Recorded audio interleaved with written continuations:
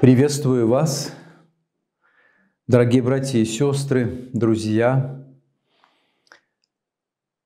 Приветствую в этот замечательный зимний воскресный день, накануне Дня памяти святителя Николая. Завтра наша церковь молитвенно вспоминает этого великого святителя и чудотворца.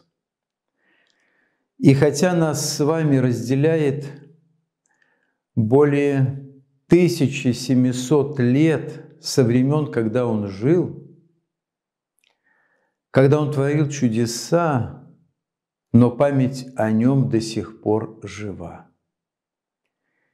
И каждый из нас, кто учился в школе или в ВУЗе, да даже в духовных школах, учился и получил определенные знания, которые, как бы не были хороши, со временем все равно изглаживаются в памяти и даже забываются, если к ним не возвращаешься, не пользуешься ими в жизни. Вот примерно так по аналогии и в жизни церкви. Церковь живет не только священным писанием, но и преданием. И именно в преданиях, в священном предании и священной памяти церкви хранится память в том числе и о великом святителе Николае. Она не просто хранится где-то в кладовых, на пылящихся полках, а живо, действительно, по-настоящему. Потому, потому что каждый из нас, живущий здесь или в другой местности, и вообще по всей Вселенной, на нашей планете, где бы ни было православие, даже инославные, каждый постоянно обращается к святителю Николаю.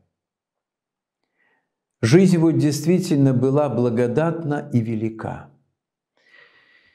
Величие было в том, что он достиг таких глубин духовности, такой силы духовной, что мог творить чудеса. Но при всем многообразии его жизненного пути – церковь оставила в тропоре два главных основания, на чем действительно зиждилась вся его жизнь. Правило веры и образ кротости.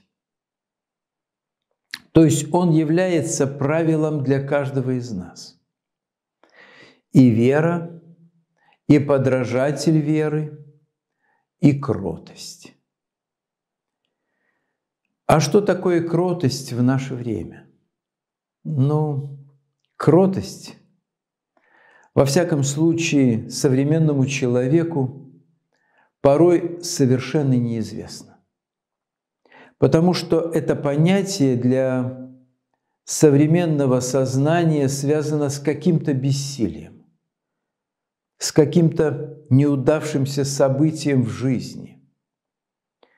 А на самом деле кротость – это не, нечто иное, нежели подразумевает человек, если он так рассуждает на эту тему. Так почему же очень трудно современному человеку рассуждать о кротости и жить по кротости? Дело в том, что во главу угла в наше время человека, человек, человеком ставится прежде всего успех. Успех во всем. В учебе, в жизни, в бизнесе, в карьере. И человек стремится к этому успеху. Но при всем при этом человек забывает о самом главном о другом человеке, который рядом. Мне все равно, каким образом я достигну этого успеха, хоть по головам, хоть по трупам, но успех я хочу себе обеспечить. А рядом ведь человек.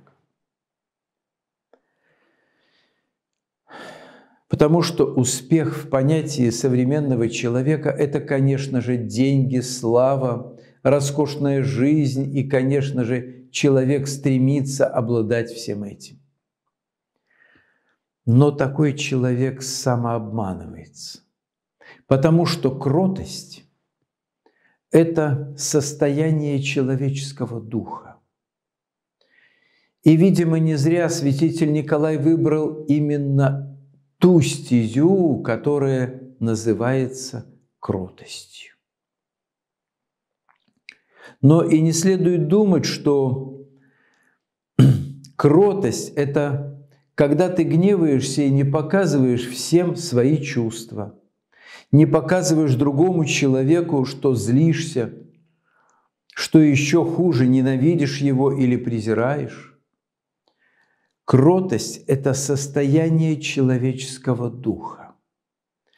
То состояние, когда во главу угла своей жизни человек ставит Бога.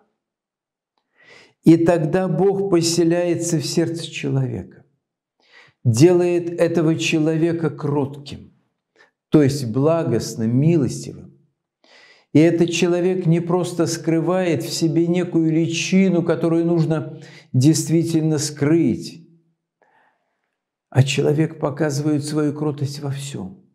В делах, в заботах, в милосердии и вообще по всей своей жизни. Но, к сожалению, именно это чувство в современном человеке так часто отсутствует. И еще одно понятие – это вера, правило веры. Действительно ли мы с вами по вере живем? Действительно ли мы исповедуем чистоту веры, которую унаследовал сам святитель Николай? Есть много примеров, когда человек – православный, крещенный в церкви, исповедует неправильно свою веру. В лучшем случае он просто ее не знает, эту веру. И тогда как? Представляете, как человек может преподать веру другому человеку, если он сам не знает своей веры? И проблема тогда появляется в том, что незнание своей веры или искаженное ее понимание приводит к тому, что в понятие о вере такой человек привносит что-то свое, греховное, привносит видение своего мира – дополняя это какими-то народными поверьями и всем прочим. И привнося в эту веру свое, он ее делает не похожей даже на языческую. И вот тогда эта гремучая смесь, которая блуждает в душах и сердцах человеческих, хотя и православных людей – делает веру совершенно нежизнеспособной. Вот поэтому святитель Николай и был правилом веры.